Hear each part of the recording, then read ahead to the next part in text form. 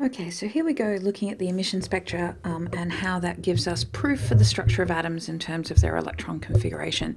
So we talked about the emission spectra being the pattern of bright lines that we see um, as a result of electrons absorbing energy, um, being excited, and then returning back down to their ground state, and they emit the energy that they absorbed. So we're going to look at this in terms of what that means for our structure and how it can help us um, predict things about elements.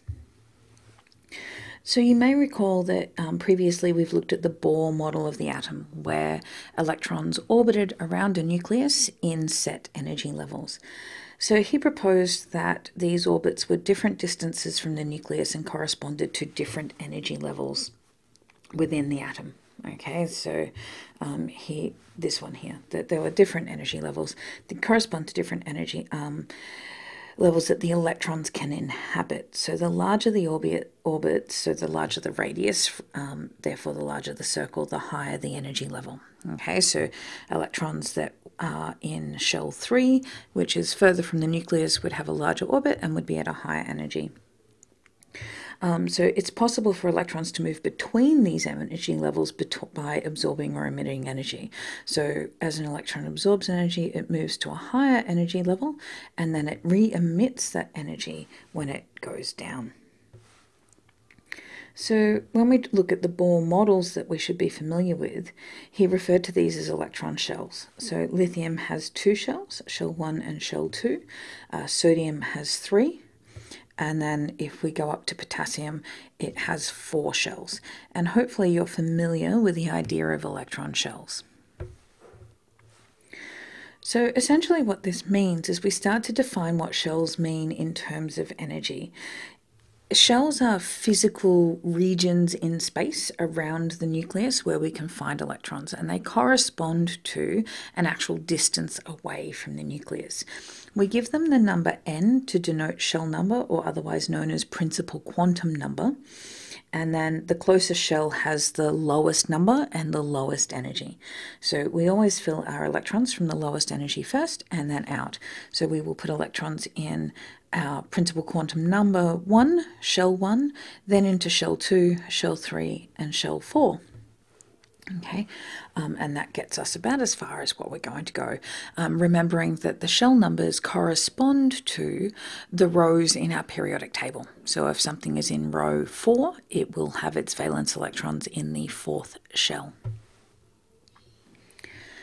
So, what this means is when we look at the emission spectra, and um, we will look at some of these in class, but you're also familiar with them from doing flame color tests, the emission spectra observed for elements can be related to the energy levels that we see within the atoms. So, when we heat an atom um, or an element, um, the electrons can absorb this energy in the form of heat or light and then cause them jump to a high energy level. So they can start on the lowest energy here, which would be our principal quantum number one, and they can jump up to any available energy level within the shell. So they can jump up and then they can come back down. They might come back down in stages. But each time they come down, they're going to be emitting energy. They're going to be emitting photons of light. So when the electron returns, the energy is emitted as a particular wavelength, and the different energy transitions in an atom give rise to different emission spectra, and this is important.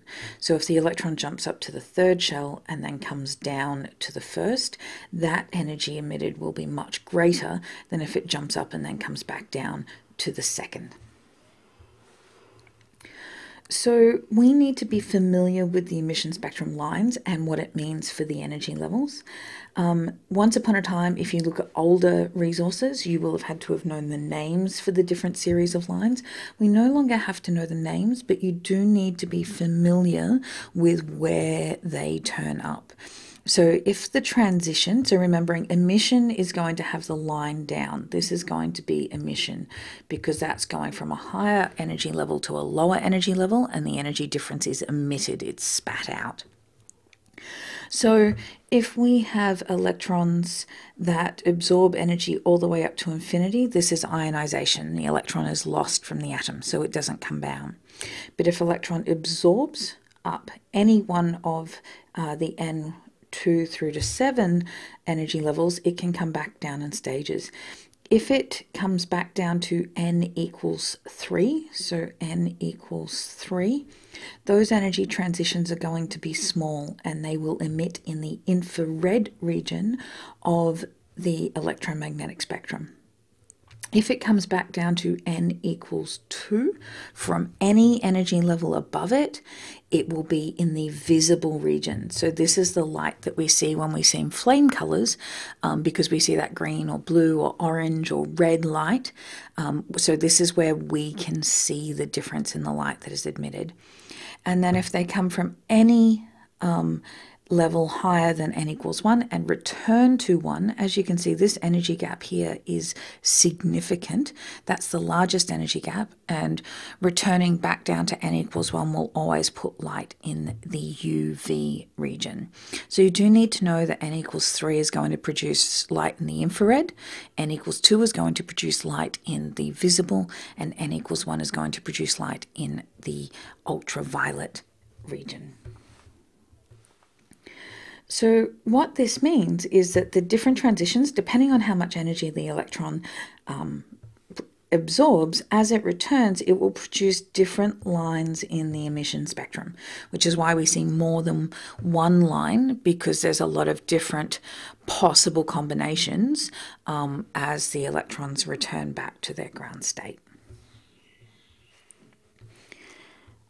Okay, so um, just make sure that you've got this idea locked in um, and then that's all I'm going to do in this video. So you need to know that n equals 1, n equals 2, and n equals 3.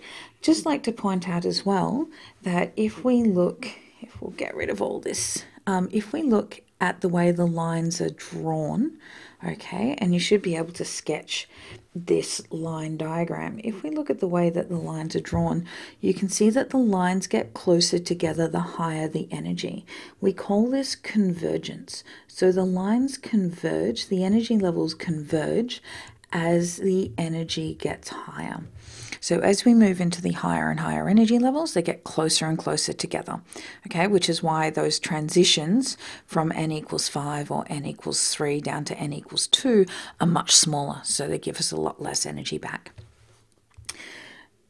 So remembering shells, large energy levels within an atom, that transitions of electrons between shells, between excited and ground states, gives us different emission lines.